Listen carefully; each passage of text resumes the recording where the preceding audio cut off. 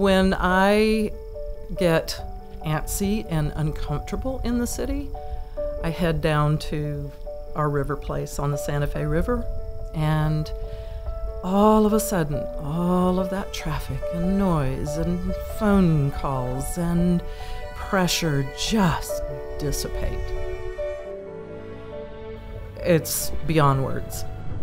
As you can tell, it's my happy place.